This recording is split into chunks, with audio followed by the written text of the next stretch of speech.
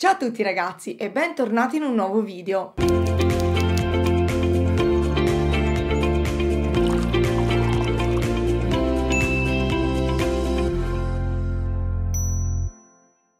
Oggi ho deciso di parlarvi dei 5 libri che mi hanno cambiato la vita.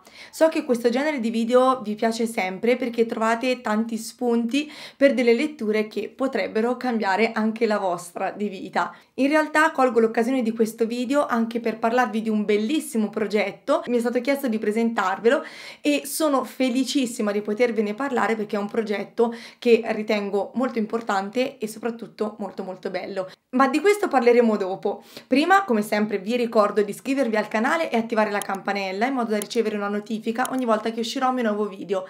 E se non lo fate già, seguitemi anche su Instagram. Io sono Martina Tazza. Cominciamo con i primi libri. Il primo libro di cui vi parlo è Uccelli di Robo. Ora, io non so perché non è nella mia libreria questo libro meraviglioso, spero che sia nella libreria della mia mamma, visto che il libro era il suo. Questo libro mi ha cambiato la vita perché è stato uh, una lettura, è stata una lettura veramente molto intensa per me, probabilmente il primo libro per adulti forse che ho letto, quello che ha segnato un po' la separazione tra l'essere una ragazzina e l'essere una lettrice adulta. L'ho letto con il mio club del libro e anzi vi dirò che l'avevo cominciato molto tempo prima, ma forse ero troppo giovane giovane all'epoca e quindi avevo interrotto la lettura. Per fortuna è arrivato il club del libro, era una lettura chiaramente condivisa e quindi ho avuto l'opportunità di riprenderlo in mano e leggerlo. Da quel momento mi sono resa conto che eh, potevo amare immensamente anche libri dove sì, c'è azione, ma molta meno rispetto a quelli che avevo letto fino a quel momento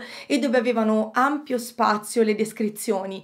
Io mi sono sentita talmente immersa nella storia, in quei paesaggi, nelle situazioni che venivano raccontate, che mi sembrava di sentirle sulla mia pelle ed è un po' la stessa sensazione che ho avuto leggendo Via col vento. È stato probabilmente il libro più bello che io abbia mai letto, una storia meravigliosa, una storia che mi ha fatta riflettere, mi ha, fatta, mi ha fatto fare delle domande, mi ha fatto ragionare anche su argomenti che di solito si darebbero per scontati e che invece bisogna analizzare sotto diverse sfaccettature. Chiaramente tutto questo è stato possibile grazie alla scrittura dell'autrice e quindi direi che questo libro ha segnato la mia vita da lettrice. Il secondo libro di cui vi parlo me l'avete sentito nominare diverse volte ed è Big Magic di Elizabeth Gilbert. Lei è l'autrice di Mangia Prega Ama e già quel libro aveva fatto, aveva avuto un certo effetto su di me, però devo dire che con Big Magic mi sono proprio sentita completamente diversa. Mentre in Mangia Prega Ama l'autrice parla della sua storia personale, è quasi un'autobiografia direi, comunque racconta della sua esperienza, di un viaggio lunghissimo che ha fatto per curare delle ferite profonde che stava vivendo, che aveva lei. Questo libro invece è eh, un'altra cosa, è proprio un manuale eh, dedicato a noi lettori. Di che cosa si parla? Si parla della possibilità di vivere una vita creativa indipendentemente da tutti quegli ostacoli, da tutte quelle paure che ci frenano ogni volta. Molto spesso siamo eh, bloccati nell'inseguire le nostre passioni perché pensiamo di non sfondare mai, quindi di non diventare mai famosi, di non diventare mai ricchi grazie a queste passioni. Ecco, in questo libro Elizabeth Gilbert ci dice che non è così, non deve per forza essere così e che anzi inserire le nostre passioni nella quotidianità è tutto ciò che rende la vita degna di essere vissuta. E lo fa in una maniera accattivante, coinvolgente, a tratti simpatica, piena di aneddoti interessanti, insomma un libro che mentre lo stavo leggendo io desideravo non finisse mai, perché io mi sentivo bene mentre lo leggevo, mi dava una carica, una forza incredibili e quindi eh, speravo durasse per sempre. In realtà questo, l'effetto di questo libro è durato perché io ho veramente cambiato la mia vita e ho iniziato a capire quali fossero le cose da eliminare, quali invece quelle da tenere perché realmente importanti. Addirittura mi sono ispirata alla lettura di questo libro per la creazione del mio primo corso di crescita personale che trovate ancora sul mio sito www.martinabelli.it perché appunto mi aveva talmente ispirata e ha talmente davvero cambiato la mia vita che ho sentito l'esigenza anche di condividerlo con voi. Quindi insomma tutto questo per dirvi di leggere questa autrice assolutamente, se non sapete da dove iniziare prendete questo. È arrivato il momento di fare una pausa. Prima di proseguire con gli altri tre titoli che mi hanno cambiato la vita, vi parlo di questo progetto eh, che appunto vi ho mm, presentato un pochino all'inizio. Sto parlando di questo Beh, ovviamente voi non vedete assolutamente niente, ma qui dentro ci sono due magnifici segnalibri. Ebbene sì, mi hanno contattato da un sito internet che vende segnalibri di stoffa. Ovviamente sapevano che avrebbero toccato delle corde sensibili perché se parliamo di segnalibri eh, io non, non, avrei mai potuto resistere e quindi ecco qui i due segnalibri che mi sono stati inviati. Ma la cosa bella che eh, c'è dietro a questi segnalibri non è tanto il loro utilizzo quanto come sono stati fatti e la loro storia storia. I segnalibri sono fatti di poliestere riciclato e sono eh, certificati come ecosostenibili. Vengono realizzati eh, con un telaio, quindi sono proprio dei veri e eh, propri segnalibri di tessuto, ma sono molto particolari perché eh, diciamo sono stati creati in modo da essere molto sottili e leggeri, in modo da poter essere inseriti all'interno delle pagine di un libro senza che questo si rovini in alcun modo.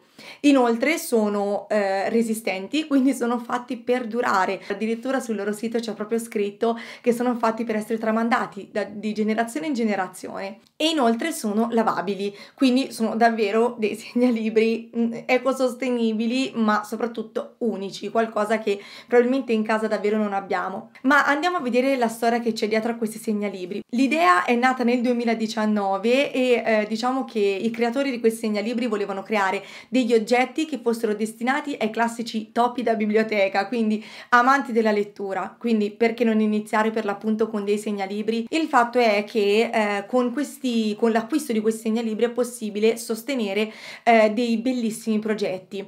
Infatti loro eh, devolvono una parte dell'incasso eh, alle associazioni che si occupano dei rifugiati, in particolare quelle che eh, cercano di eh, garantire l'accesso all'educazione e alla, alla cultura di tutti appunto i rifugiati che arrivano da altri paesi e che atterrano in Grecia perché questo progetto è totalmente greco. Infatti loro, il loro obiettivo è quello di permettere a tutti di entrare nel mondo della letteratura indipendentemente dallo stato sociale, la lingua e il background che c'è dietro a queste persone. Per quanto riguarda i rifugiati, eh, l'associazione che viene appoggiata dai creatori dei segnalibri si chiama Eco Refugee Library. Quindi si occupa per l'appunto, come vi ho detto, di permettere ai rifugiati di avere l'accesso ad una piattaforma multimediale che permetta loro di studiare, imparare e leggere. Sostengono anche la libreria We Need Books, che invece si preoccupa di uh, avere nella sua collezione di libri tanti libri in, lingua, in lingue straniere. Quindi cercano di rendere veramente la letteratura alla portata di tutti. Ecco perché ho deciso di sostenere questo progetto, di presentarvelo, di parlarvene, perché credo che eh, sia veramente ben pensato, nel senso che oltre a darci qualcosa di bello, come può essere un segnalibro, anche noi diamo qualcosa di bello a tante persone che normalmente non avrebbero accesso ai libri e alla letteratura. Quindi vi invito ad andare sul loro sito che si chiama Bookla, vi lascio chiaramente il link sia qui sotto che nell'info box e andate un po' a sbirciare, soprattutto perché ogni disegno presente sui vari segnalibri di stoffa è ispirato al mondo della letteratura. Nel mio caso io ho scelto questo orso polare che eh, si ispira alla ehm, trilogia della bussola d'oro, noi la conosciamo così, la bussola d'oro è il primo volume, e eh, le tazze da tè che ovviamente si ispira alla storia di Alice nel Paese delle Meraviglie. Prima di concludere quindi vi dico anche che c'è un codice sconto per voi per avere il 10% di sconto sull'acquisto dei segnalibri, il codice è BUCLAFALL.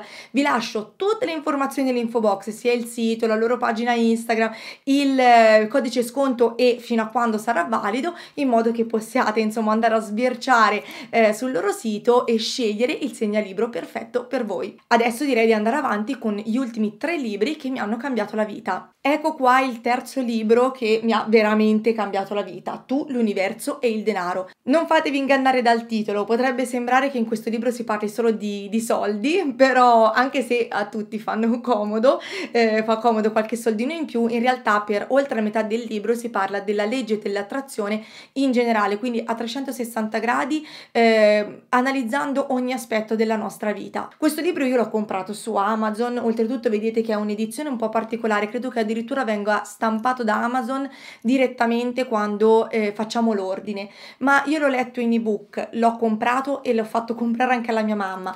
È pieno di annotazioni, di frasi sottolineate, perché ho trovato tanta di quella ispirazione che volevo tenerlo sempre a portata di mano per poter riprendere quelle frasi che mi servivano in un determinato momento della mia vita. Come vi ho detto qui, quindi si parla della legge dell'attrazione ed è stato un po' il primo approccio che io ho avuto con questa legge che mi ha veramente aperto gli occhi, perché si trovano tante letture sulla legge dell'attrazione, però ripetono un po' tutte le stesse cose. Questa invece è un'analisi molto più profonda e, e anche questo è un libro di quelli che riesce a darci una, una carica pazzesca, perché ci fa capire che noi siamo pieni di potenzialità, pieni, ma negli anni ce ne scordiamo e quindi crediamo di essere mediocri, banali e di non poter mai emergere in nessun caso e di non poter soprattutto mai aspirare a qualcosa di meglio. Questo libro ci insegna tutto l'opposto, ci fa capire quanto siamo forti, quanto abbiamo il diritto di essere felici, di ricercare questa felicità e di eh, ricercare la vita che è nei nostri sogni e ci insegna come fare. Insomma, potrei parlare di questo libro per ore, anche ora mentre preparavo il video, rileggevo qualche frase e già mi sentivo ricaricata. Quindi è un consiglio consiglio che do a tutti, date una chance a questo libro perché è mm, quel motivatore che vorreste avere sempre accanto a voi ogni giorno della vostra vita. Il quarto libro che ha salvato la mia vita è Cambiare l'acqua ai fiori. Anche questo non ce l'ho qui con me perché ce l'ha la mia mamma, ma un giorno glielo ruberò, ve lo prometto.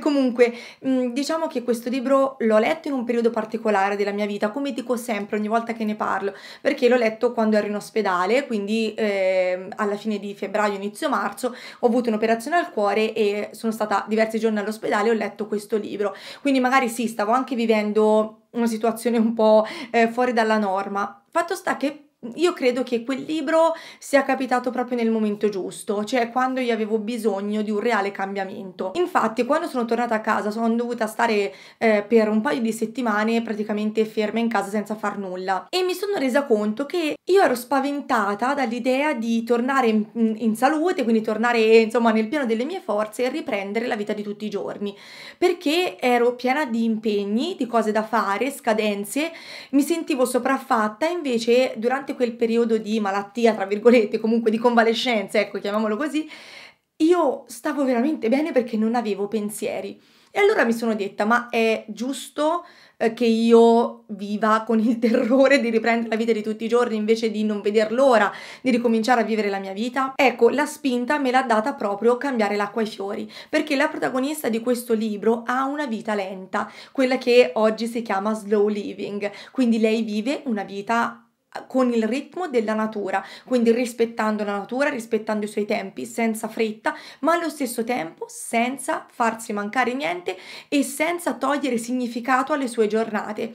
Io mi ricordo che mentre lo leggevo sognavo di avere la vita di questa donna, nonostante insomma le varie tribolazioni di, del personaggio, ma la sua diciamo pace interiore nel momento in cui aveva rimesso a posto la sua vita ed aveva capito come viverla in una maniera maniera lenta. Quindi era una persona che aveva la vita piena di persone belle intorno a sé, persone che la arricchivano, ma allo stesso tempo era capace di eh, non avere fretta, perché purtroppo io, è una cosa con la quale ho dovuto combattere sempre da tutta la vita, cioè la fretta di finire perché ci sono sempre troppe cose da fare. Quindi io dico sempre che questo libro mi ha cambiato la vita perché è, è stato proprio così, mi ha fatto conoscere una storia che mi ha emozionata, il libro è, è automaticamente entrato nella lista dei libri più, più belli mai letti e soprattutto mi ha fatto capire che desideravo uno stile di vita diverso e da quel momento il mio stile di vita è davvero cambiato. Infine, l'ultimo libro che mi ha cambiato la vita è Viaggi tra sogni di carta, il mio primo romanzo. Questo non è stato, diciamo, eh, determinante dal punto di vista della storia, perché ovviamente l'ho inventata io. Questo è stato proprio il, il semplice fatto di averlo eh, pubblicato a cambiarmi la vita, nel senso che eh, questa è stata la realizzazione di un progetto che durava anni e di un sogno che avevo fin da quando ero bambina, ma proprio bambina, io credo che eh, alle medie io ho capito di voler fare la scrittrice.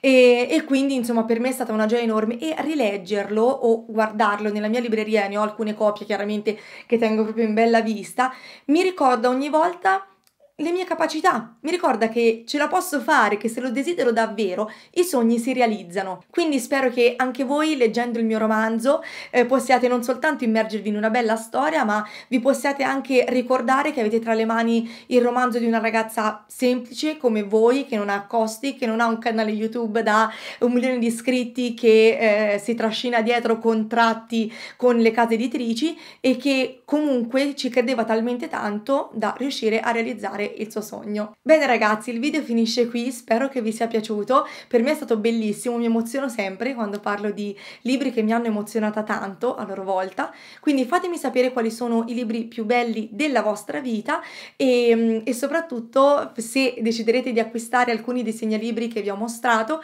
mandatemi qualche foto su Instagram perché sono curiosa di vedere qual è l'immagine letteraria che ha fatto per voi, che più vi ha, vi ha attratti e vi ha ispirati. E niente, noi ci vediamo prestissimo in altro video. Ciao!